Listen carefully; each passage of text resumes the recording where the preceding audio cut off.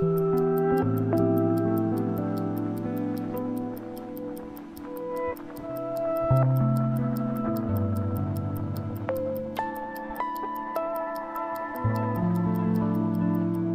order to mark and identify parts, either with a brand name or maybe a serial number, you have to do some kind of marking. And most common is going to be a laser marking. Relatively new technology, at least in terms of watchmaking, but it's much more efficient than having to do hand engraving.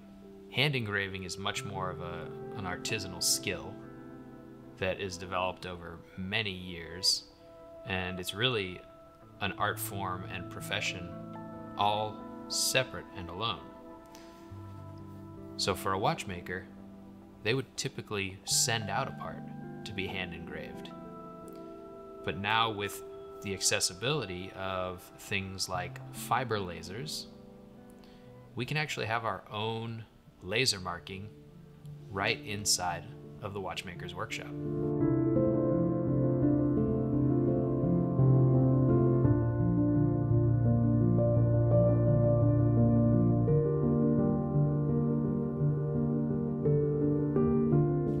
Send parts all over the country or potentially to another part of the world in order to have them engraved. It can be done right next to the same equipment that we make the part on. I use a 20 watt fiber laser, and it's a relatively compact piece of machinery. Easy to use, not inexpensive. However, it is much less expensive than sending parts out for laser marking elsewhere. And it is significantly less expensive than sending parts out for hand engraving. As an example, hand engraving a serial number with four digits onto the back of a stainless steel wristwatch would take hours. Using a fiber laser, it takes a matter of seconds. So it's two very different methods for marking a piece of metal. And it allows a lower cost of production, faster turnaround. And these are all things that are really great when we're trying to make uh, a different watch component or a complete watch and do it within a certain budget. Right? If we're trying to make a relatively accessible timepiece as best we can, then things like lasers are very helpful. Something like a fiber laser could also be used to cut metal. In the case of an oscillating weight, we could actually carve a logo all the way through the oscillating weight, cutting the material away. The way a fiber laser works is you're simply eroding the material at the surface, and the longer you keep the laser on, the more heat you're generating. So you have dwell, because the laser can actually move across a part.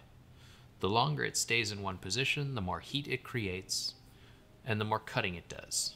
So coming up with just the right settings for the material you're trying to cut, the depth you're trying to cut, and also the style of cutting. You can have dark marks that leave almost like a what looks like a burn or blackened material at the surface. You can also have marks that don't actually remove any metal. Marks that simply bring carbon to the front surface. So you'll have a black mark, but there's no depth, no removal of material. You can also do things like frosting. And frosting will create a texture that is light colored. So instead of having any apparent burn marks, you can have a very clean, etched surface at any depth. It all depends on the power of your laser and the optical elements that you're using to focus that laser and move it across a surface.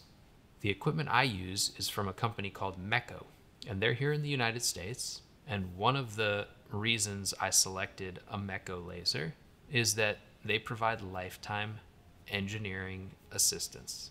So if I have a new material that I've never cut or marked, I can actually call them or email them and they will help me set it up with exactly the right settings for the perfect mark, exactly as I want it to be. And that's for the lifetime of the laser. So, since this was my first experience cutting with lasers and marking parts with lasers, I wanted to make sure that there was a team of engineers who knew what they were doing that could help me out. Because it's not always intuitive, the settings of the laser, right? The power settings, the timing settings, uh, how many different cuts you want to make in order to get to a certain depth. Then you change your material. And when you start dealing with different metals, the way they react to a laser is different. So that's really where the complexity begins. Most watches on the market today will have at least one component that has been marked with a laser. If you look at some watch dials, they will have textures that are added by laser. Many movement parts will actually have decorations added using lasers. Things like Geneva stripes can be added using lasers instead of an abrasive pad. What this does is it actually speeds up the process. It looks slightly different, but it's almost identical unless you're the well trained watchmaker who has seen both stripes up close. It will look the same, but one will be achieved much quicker with much less skill necessary. The other one will take more time, more equipment and setup, and a lot more practice and skill to perfect. In the end, you have a relatively similar decoration. So many of the higher volume watch movements, they will be decorated with lasers. And these lasers can actually be integrated right into a CNC machine. Now, one thing to remember when working with lasers is the frequency of the light. We have special glass that shields that light with a special glass door. You can have lasers that operate outside of an enclosed system like that. However, you then have to make sure that everyone in that room is wearing special glasses.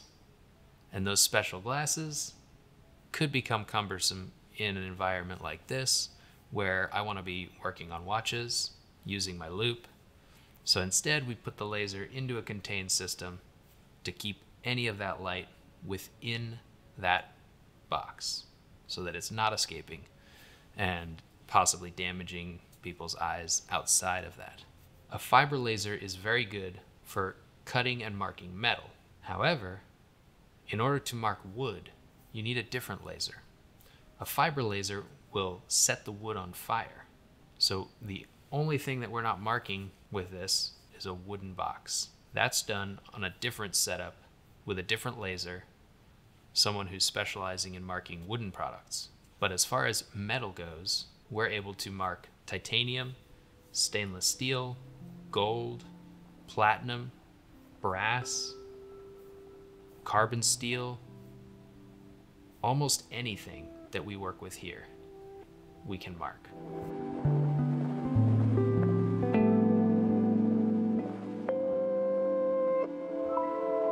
I use the laser to mark watch bridges, main plates. I also use it for logos on crowns, logos on buckles, and serial numbers on casebacks. And in the past, I have used it to cut oscillating weights into the exact shape that I want them. I have also used it to make applied numerals by actually using the material that I cut out. If you take a close look at any modern wristwatch, you're gonna see deep engravings or markings that have sharp corners, things that couldn't possibly be made with an end mill. And this is because of laser marking. Laser marking has become the standard way of engraving a wristwatch.